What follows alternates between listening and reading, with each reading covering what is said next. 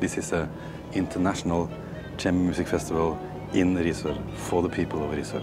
So there's always been a very nice mixture of local people in the audience and some people coming from Tokyo and the States and all over the world. It's an excellent festival. I love the town and uh, it's really fun to plan a program like this.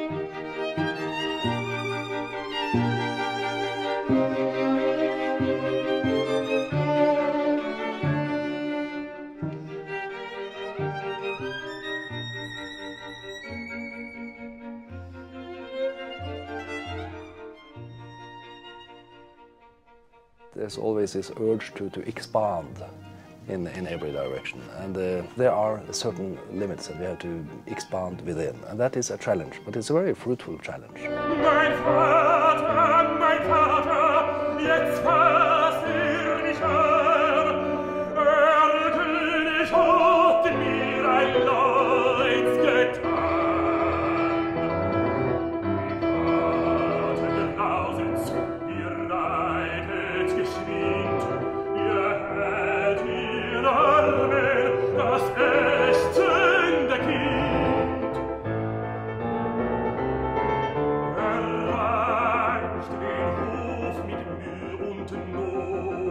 Mozart's Wind Quintet is a, is a fantastic piece in, in that how could this man know so well the real nature of each instrument?